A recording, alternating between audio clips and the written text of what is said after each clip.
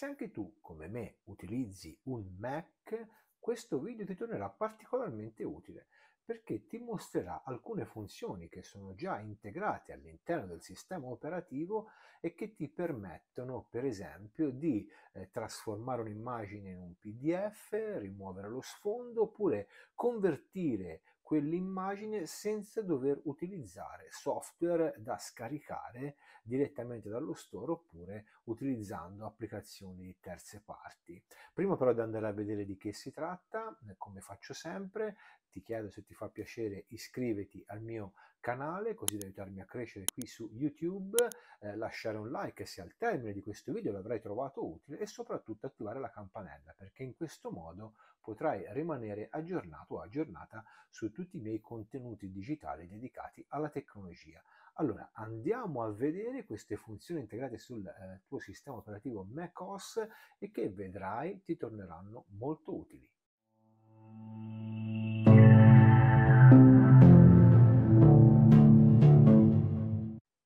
Immaginiamo di eh, voler attivare le funzioni di cui ti ho parlato eh, su questa immagine che ho scaricato da internet. Che cosa dovrei fare? Molto molto semplice. Ti basterà fare tasto destro sull'immagine, dopodiché andare sul menu azioni rapide e vedrai che qua sulla destra si aprirà questo menu a tendina nel quale avrai, oltre alle funzioni classiche di eh, rotazione verso sinistra o di modifica, ecco quello che ci interessa la possibilità di creare un PDF direttamente dall'immagine, quindi ti basterà selezionarlo e come vedrai in automatico verrà generato il tuo file PDF, oppure sempre tramite le azioni rapide potrai convertire l'immagine e avrai a disposizione oltre al suo formato di origine anche l'estensione PNG o HEIF, HEIF, oppure per esempio una cosa che io trovo molto utile, nuovamente tasto destro, azioni rapide, rimuovi sfondo. E guarda qua, ti avrà generato una copia dell'immagine che è perfettamente scontornata senza che tu abbia dovuto utilizzare alcun programma di fotoritocco o qualche applicazione esterna. Utile, no?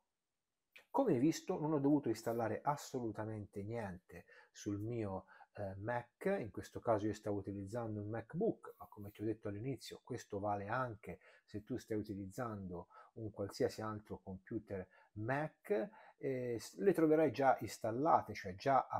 attivate all'interno del tuo sistema operativo e ti consentiranno di velocizzare molto le operazioni perché la conversione delle immagini, l'esportazione in PDF e soprattutto la rimozione dello sfondo sono quelle piccole